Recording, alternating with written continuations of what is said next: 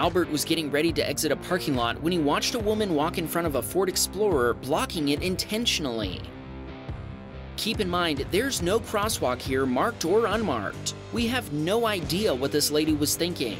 She then proceeded to pound on the hood while the Explorer driver backed out of the road in an attempt to escape her unexplained wrath. Eventually, she got out of the way before yelling at other passing traffic as the Explorer drove away. My favorite part is this Tesla driver just noping his way out of the situation.